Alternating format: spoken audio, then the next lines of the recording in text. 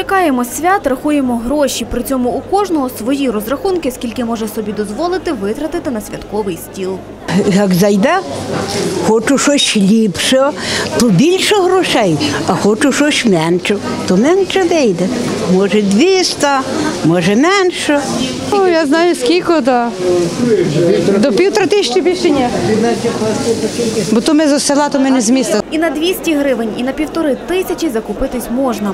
Інша справа, якої якості і скільки продуктів за ці гроші купиш. Продавці готові зважувати на будь-яку суму, бо що означає нема торгів на власному досвіді відчули нещодавно. Тоді українських покупців відлякав курс іноземного долара. Як долар пішов до гори, людей взагалі не було. Люди взагалі ходили такі, що вони шоковані були. Зараз долар трохи впав, то люди вже трошки беруть, але все одно не знають, що завтра буде. Бо в нашій країні, бачите, як не сьогодні так, завтра так, нема стабільності. Вони вже раз зросли, на що ще є зростати? І так ніхто не брав. Може, на свято думаємо, надіємося.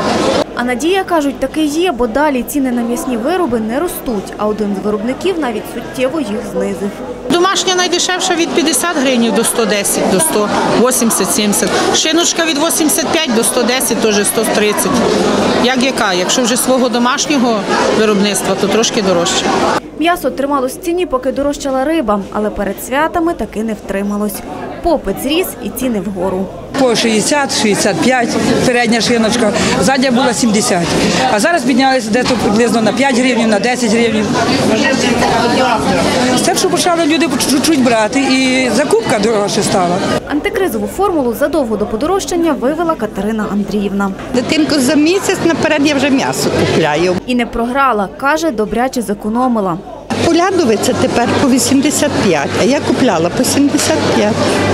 Передня частина лопатки також набагато дешевша була. На 10, 15, навіть на 20 гривень дешевше. Морозильну камеру. І чекаємо свят. Так жінка купувала і рибу, тепер докуповує. Та й тут не прогадала. Риба в основному подешевшала, кажуть продавці. Як, наприклад, був період, що був 97, зараз 83. Філе хека 5 гривень впало поки що. Оселедець на 8 гривень, філе на 7 гривень. Оселедця. Червона тільки піднялася. Оселедець, кілограм якого сягав 80 гривень, нині по 62.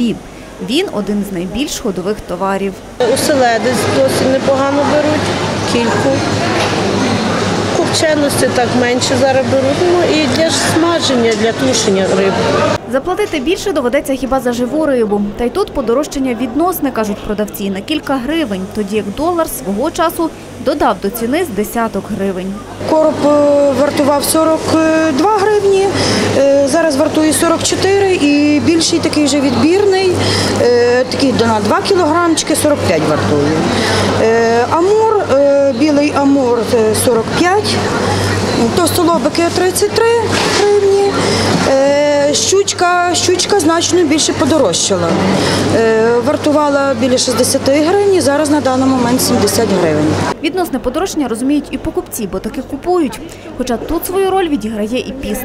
Оцей останній тиждень, то вже так переважно люди вже так підходять. О, це останній тиждень посту, треба трошки попостити, то тоді так більше вже ж купують. А так на протязі посту то такого не було. Трохи подорожчало, підсумовує наперед і Володимир, а тоді розповідає докладніше. Сир подорожчав, майонез львівський подорожчав, масло трохи подорожчало на гривню, на півтора, на, на масло під пачками на 50 копійок. Продавці чекають на покупців. Покупці добре рахують гроші перед тим, як їх віддати. Усі разом нарікають на ситуацію в країні і тепер в трохи менших масштабах, але продають і купують далі.